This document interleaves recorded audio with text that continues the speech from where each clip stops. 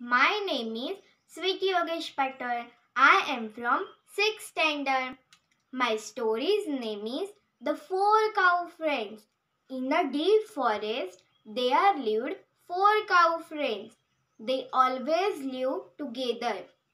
Whenever they went, they always went in a group. No one could dare to harm them because of their unity.